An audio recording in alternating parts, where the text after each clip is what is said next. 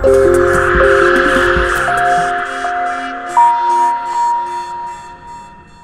Ударять алтыном по доллару и евро начнут не через 10 лет, как планировалось, а максимум через 5. Именно такие прогнозы делают экономисты и политологи. Пока же официально анонсируют лишь запуск Евразийского экономического союза. 1 мая главы России, Казахстана и Белоруссии скрепят договор об альянсе своими подписями. Проснуться уже в новом государстве людям суждено 1 января будущего года. Однако в Казахстане такой перспективой довольны далеко не все. Население считает, что это ведет к потере независимости как экономической, так и политической политической. России доля какая? 93, а нам поделили оставшиеся.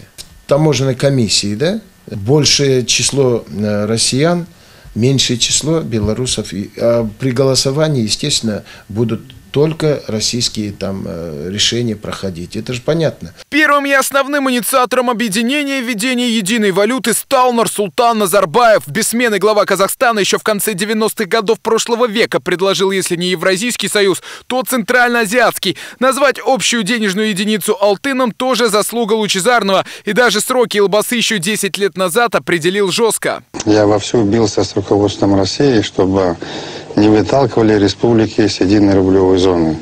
Сегодня, выступая на экономическом форуме в Разе, сказал о том, что к 2011 году мы должны прийти к единой валюте, если мы хотим сотрудничать по-нормальному. Однако два других партнера Тройственного союза Беларуси и Россия не спешили кидаться в омут Назарбаева, но и задевать старца за живое тоже не гоже. Всем известен его ретивый и обидчивый нрав.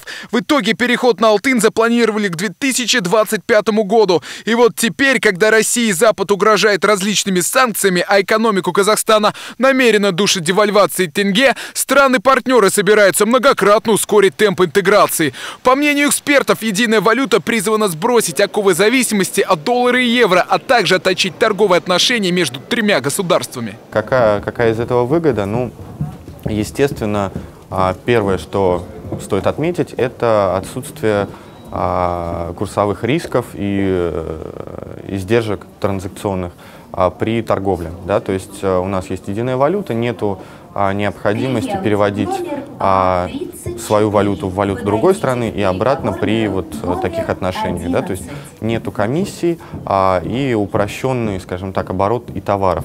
Впрочем, стремление Назарбаева обзавестись алтыном носит скорее расчетливый меркантильный характер. Девальвация национальной валюты сильно подпортила имидж казахстанского правительства. Обвал тенге, как теперь известно, был неминуем. Людям же Назарбаев откровенно врал. Нацбанк тратил огромные ресурсы для искусственного поддержания прежнего курса. Благодаря созданию мнимого благополучия республика оказалась в долговой кабале. Сейчас под ногами Елбасы не земля, а трясина. Капиталы старшей сестры России Лучезарному нужны как никогда. Единая валюта для него, что спасательный круг. Тут э, требуется, опять-таки, иностранный капитал.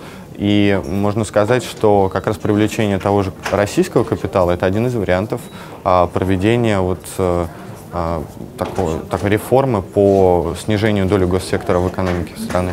Назарбаев понимает, что недовольство им в народе только нарастает. Отсюда и все запрещающие законы последних лет. Однако злить казахстанцев он все же боится. Поэтому и хочет хоть как-то поднять свой рейтинг среди населения республики. Объединение с Россией и Белоруссией позволит Нурсултану Абишевичу возглавлять Казахстан более длительный срок.